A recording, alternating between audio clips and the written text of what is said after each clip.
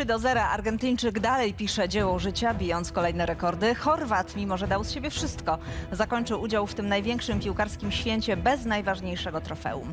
Zaczynamy mundialowy wieczór. Sylwia Dekiert, zapraszam. Reprezentacja Argentyny pierwszym finalistą Mistrzostw Świata. Chorwacja zagra w finale pocieszenia. A jak do tego doszło? Taktykę zwycięzców i potknięcia przegranych omówimy w mundialowym wieczorze. Ale też przygotujemy się do drugiego półfinału. Francja-Maroko. Kto ma większe szanse na wielki finał, a komu zostanie walka o trzecie miejsce?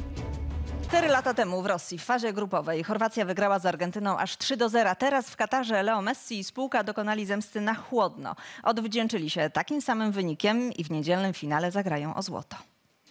Po każdym meczu na tych mistrzostwach przeprowadzamy analizę najciekawszych i najbardziej widowiskowych akcji.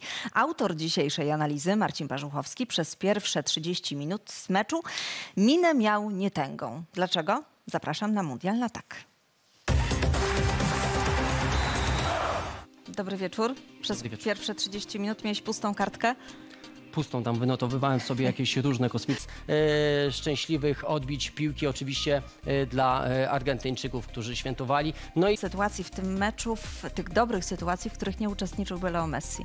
za każdym razem Leo Messi. Ja sobie tak mówiłem przed tym wejściem. Argentyna rozkręca nam się Leo Messi. Piękny finał nam się zapowiada bez względu na to, kto stanie po drugiej stronie Argentyny. względu. Zdobyć tytuł mistrzów świata i go obronić. Do Włochów i Brazylii chcą dołączyć Francuzi. Nieprzeciętne umiejętności są, talent jest, kondycja też. Klucz do zwycięstwa może leżeć w solidnym rozpracowaniu rywala.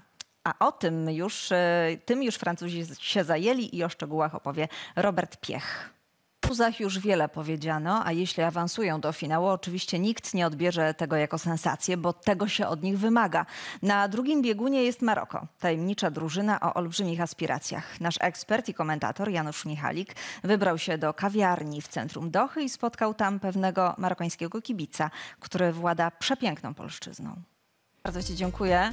E, za chwilę na antenie TVP Sport powtórka meczu Argentyna-Chorwacja, ale mundialowy wieczór chcielibyśmy zakończyć najpiękniejszymi, najciekawszymi momentami e, z tego właśnie spotkania, a oglądać można bez końca. My już Państwu dziękujemy. Patryk Chudoba, Sylwia Dekier, dobrej nocy.